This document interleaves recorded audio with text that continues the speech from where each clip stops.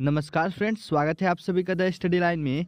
Friends, आज के इस वीडियो में हम लोग कवर करने वाले हैं प्रमुख खेल और उनमें उपस्थित खिलाड़ियों की संख्या। यहाँ से बार बार क्वेश्चंस पूछे जाते हैं और अधिकतर विद्यार्थी जो कंफ्यूज कर जाते हैं खेल और उनमें उपस्थित खिलाड़ियों की संख्या को लेकर के।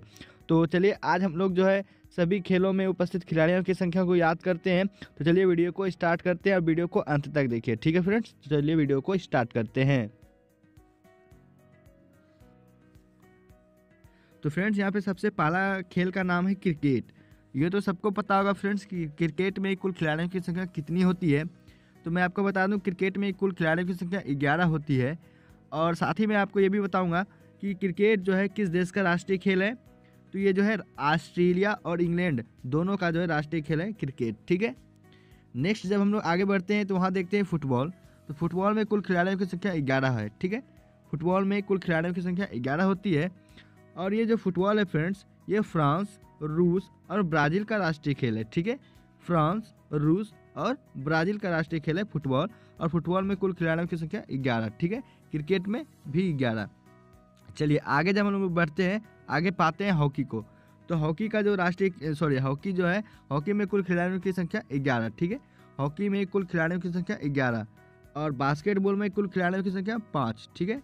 याद रखिएगा फ्रेंड्स, ये परीक्षा में बार बार पूछा जाता है हॉकी में कुल खिलाड़ियों की संख्या ग्यारह और बास्केटबॉल में कुल खिलाड़ियों की संख्या पाँच, ठीक है?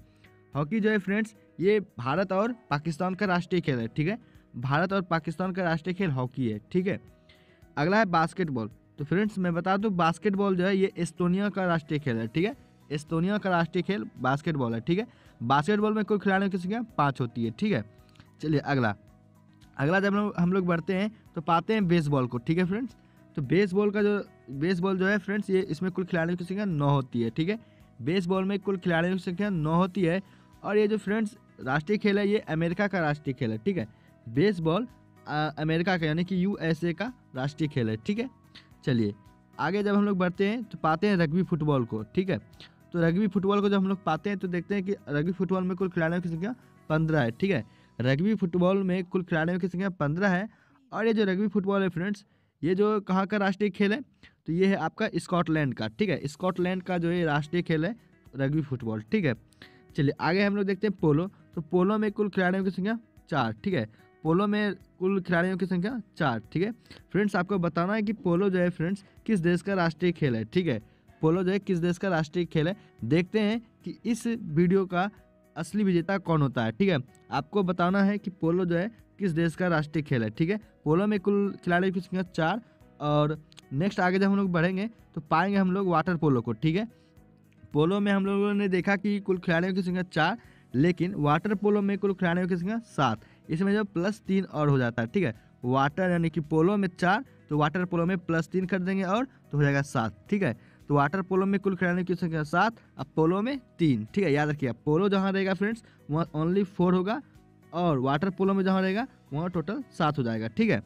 चलिए, आगे जब हम लोग बढ़ेंगे तो देखेंगे वॉलीबॉल को, ठीक है? तो वॉलीबॉल में कुल खिलाड़ियों की संख्या छः होती है, ठीक है? वॉलीबॉल में कुल खिलाड़ियों की संख्या छः होती है, ठीक है? तो मैं आपको बता दूँ फ्रेंड्स कि ये जो वाटर पोलो है, ये जो है गुआना का राष्ट्रीय खेल है, ठीक है? गुआना का राष्ट्रीय खेल आप लोगों ने सुना होगा गुआना, देश का नाम। तो ये जो है वहाँ का राष्ट्रीय खेल है। वॉलीबॉल जो है फ्रेंड्स ये श्रीलंका का राष्ट्रीय खेल है, ठीक है? श्रीलंका का राष्ट्रीय खेल है वॉलीबॉल ठीक है? चलिए, अगला जब हम लोग बढ़ेंगे तो पाएँगे कबड्डी को, ठीक है फ्रेंड्स अगला हम लोग देखते हैं कबड्डी को। तो कबड्डी में कुल खिलाड़ियों की संख्या सात होती है, ये तो सबको पता होगा। कबड्डी में कुल खिलाड़ियों की संख्या सात, और ये जो फ्रेंड्स कबड्डी है, ये बांग्लादेश का राष्ट्रीय खेल है, ठीक है? ये बांग्लादेश का राष्ट्रीय खेल है, ठीक है? फ्रेंड्स, अगर वीडियो अच्छा लग रहा हो तो प्लीज़ लाइक ज़रूर कीजिएगा और कमेंट करके बताइएगा कि आपको यह वीडियो कैसा लगा, ठीक है? अगला आपका नेट बॉल फ्रेंड्स, ठीक है? तो नेट बॉल में कुल खिलाड़ियों की संख्या जो है, ये हो जाता है आपका सात, ठीक है? ने नेट बॉल में कुल खिलाड़ियों की संख्या सात है, ठीक है? ये किस देश का राष्ट्रीय खेल है फ्रेंड्स? तो ये जो है आइसलैंड का है, ठीक है? नेटबॉल आइसलैंड का राष्ट्रीय खेल है, ठीक है? चलिए आगे बढ़ते हैं। तो आगे हम लोग पाते हैं खो खो तो ठीक है खो खो खो खो में जो है कुल खिलाड़ियों की संख्या नौ होता है, ठीक है? नौ। कुल खिलाड़ियों की संख्या नौ खो खो में, ठीक है? अगला आपका टेनिस और टेबल टेनिस। तो टेबल टेनिस और टेनिस में जो है कुल खिलाड़ियों की संख्या एक या दो होता है, ठीक है? अब आपको बता दूँ फ्रेंड्स ये जो टेबल टेनिस है, ये जो है आपका चीन का राष्ट्रीय खेल है, ठीक है? टेबल टेनिस चीन का राष्ट्रीय खेल है, ठीक है? चलिए, अगला हम लोग देखते हैं जिम्नास्टिक। तो फ्रेंड्स, जिम्नास्टिक में कुल खिलाड़ियों की संख्या आठ, ठीक है? जिम्नास्टिक में कुल खिलाड़ियों की संख्या आठ। तो फ्रेंड्स ये वीडियो आपको कैसा लगा?